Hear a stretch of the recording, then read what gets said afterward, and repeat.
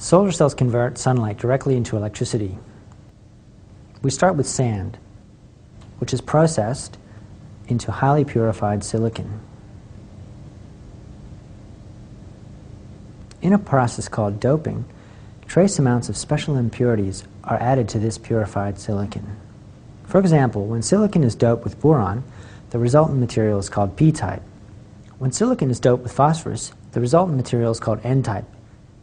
When pure silicon is doped with both boron and phosphorus in just the right way, a p-n junction is formed.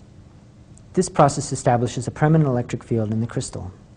When a p-n junction is made so that light can strike its top surface and metal conductors are attached to the p and n-type sides, a solar cell is formed. When sunlight strikes the solar cells, electrons are ejected from the atoms and the permanent electric field in the junction steers them to the n-type side. If a wire is connecting both sides of the solar cell, Electric current can flow whenever sunlight is striking the solar cell.